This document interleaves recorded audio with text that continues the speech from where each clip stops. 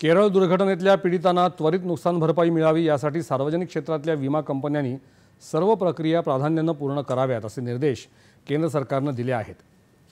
P M Jeevan Jyoti योजनेच्या लाभार्थ्यांनाही त्यांचा निधी लवकर वितरित करण्याचे निर्देशही सरकारनं जारी केले आहेत. भूस्खलनाच्या घटनेनंतर आजही शोध मदत आणि बचाव कार्य सुरूच आहे. मदत आणि बचाव कार्यात ड्रोनसह अद्ययावत तंत्रज्ञानाचा वापर केला जात आहे. अजूनही दोनशे सहा जण बेपत्ता असल्याची माहिती केरळचे मुख्यमंत्री पिनरई विजयन यांनी दिली आहे. सध्या वायनाडमधल्या एक्क्याण्णव मदत शिबिरांमध्ये दहा हजारांहून अधिक नागरिकांचं स्थलांतर करण्यात आलं आहे. दुर्घटनेतल्या मृतांची संख्या तीनशे आठहून जास्त झाली आहे.